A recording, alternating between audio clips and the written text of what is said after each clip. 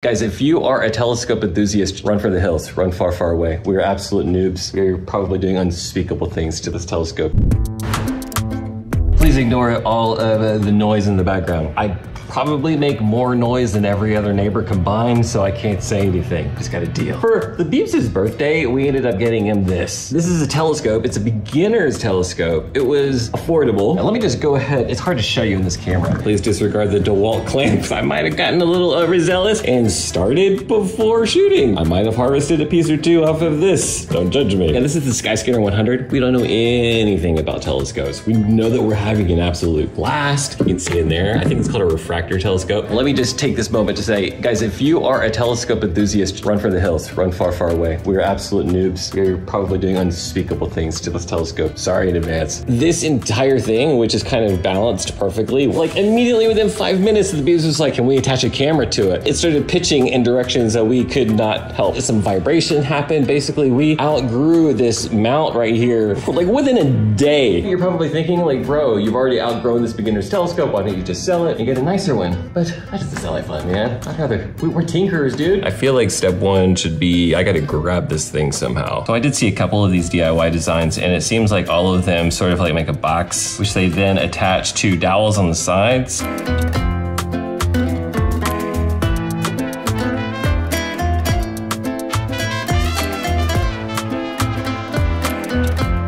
All right, so now how do I pretend like I just built this thing? Okay, guys, look. I may or may not have already built this thing. Okay, some of the stuff I'm filming backwards. Don't judge me. But look at it, dude. I mean, it's a little rough. This foam PVC is really hard to cut. I need to sand it down. Sometimes when you want to modify the weight of a pool cue, they make these things. They're called weight bolts. They look like this, varying sizes, but ultimately they're all this. And basically you just shove it to the bottom of a pool cue, then tighten it up. But it turns out that this bolt, of which I have millions in the garage. It's kind of a perfect fit. I mean, it's a perfect fit for for this thing, so we're gonna use it. So I ended up needing four discs and uh, I had no other way to make them, and especially make them all concentric to one another, so I ended up spinning them together on the lathe. It went pretty good. So satisfying, nice and clean. Oh dude, I also forgot about this on my uh, CNC. This fits the, the contour of the, the telescope and they are going to attach to the handle, the purple heart handle like so. And then that way when I screw and apply pressure, it'll tighten it against the telescope.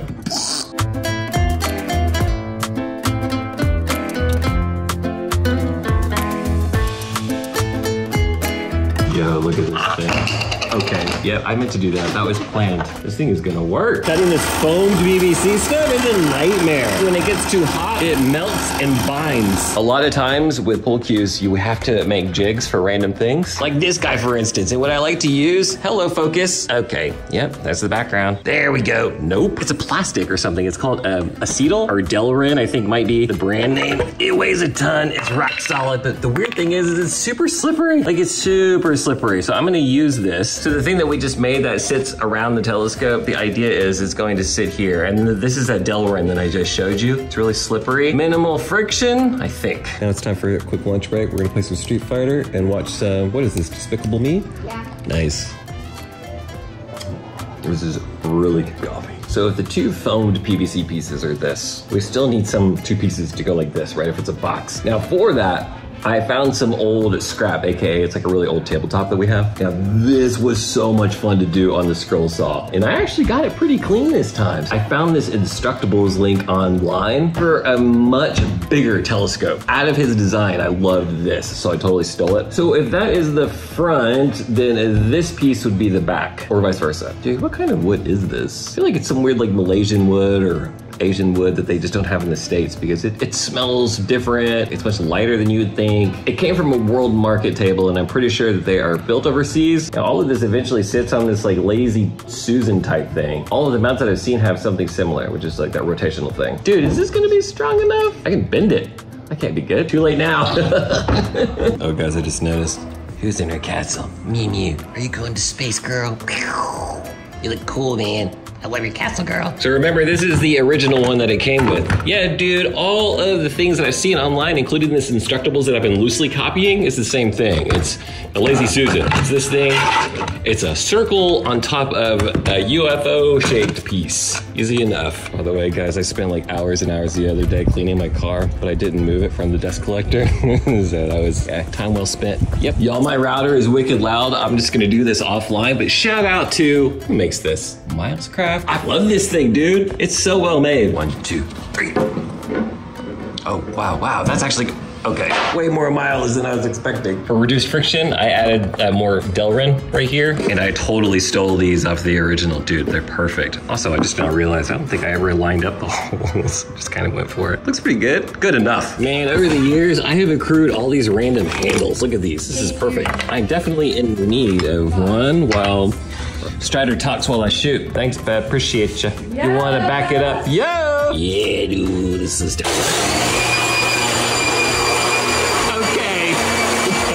oh, this is very satisfying. Guys, I just need to dedicate an episode where I make like a gigantic fidget spinner. Like a fidget spinner that's like two feet in diameter. Beebs is watching TV and I see his head go, hmm? The Delrin things are not adding as much like lubricant or whatever as I would have liked. Now, in theory, we can modify the tightness, right? If we, like for example, this is way, way too tight, I can ease it up. Size is good. Now we just start attaching stuff, I guess.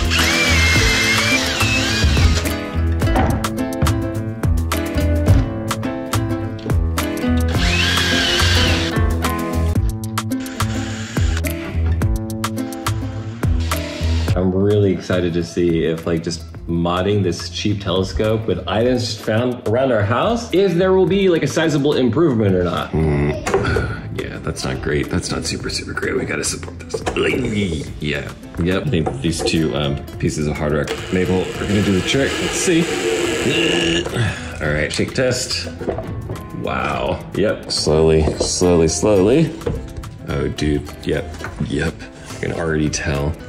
Yeah, so it's very forward heavy right now. So the question is, do I balance it or do I just tighten these guys up? Bro, this is amazing. I love you, Mew. So is a way to adjust the elevation instead of actually relying on balancing it. Uh, We've been playing with a lot of gears lately, and I think that it would be really, really cool to implement that. Yeah, let's give this a shot, dude. This is gonna be amazing. I ended up using this old scrap piece of Purple Heart and just tapped it to the right size. Dude, it's awesome. Dude, this might actually this might actually work. In there, and this would theoretically go on to tighten it. Oh, dude, it's almost there. It's a little too sensitive. I was trying to make the, the crank less sensitive, meaning I would have to rotate it several times for this just to go so I thought that I would just make a gigantic gear. Let me show you. I ended up going down this like rabbit hole with like gear knowledge, and reading all about them, and turns out they're weirdly complicated. Look at this thing. I was too impatient to wait for the 3D printer to work because like even these four small gears, it's gonna be another 12, 15 hours.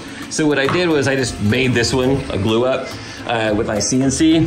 Dude, it's actually quite beautiful. Like, look at this. I think that these are just various pieces of uh, scrap. It looks like some oak, maybe some pine. Yeah, awesome. So I figured if I threw this in there into the mix, it would increase the, the gear ratio or whatever. But it wasn't quite enough. I don't know how to increase it apart from making a, a gear that's like, I don't know, four feet wide, which would be amazing. But yeah, honestly, man, even if this doesn't work as effectively and elegantly as I thought it would be, it just looks cool. Man, I love this massive gear. But yeah, I mean, it works. It's just, it's not reduced to the amount that I was hoping for. But check this out. I mean, it definitely increases the gear ratio.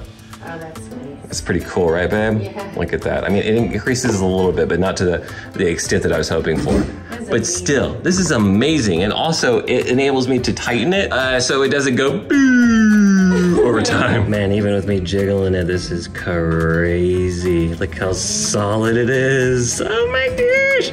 Bro, what? It's just night and day difference. Like, it's just incredibly rock solid. I am so stoked on this. So we completed this, I don't know, a week or so ago.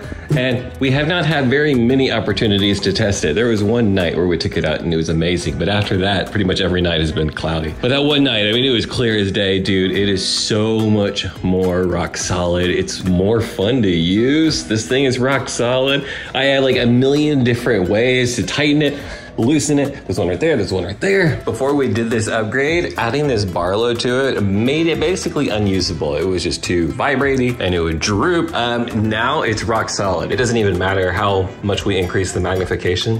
It's amazing. So yeah, if you're into telescopes and you want to grab this scope, I would highly recommend upgrading the mount. Okay, guys, I'm so distracted. Guys, I'm trying to shoot, okay? Like Marshy really wants to come in.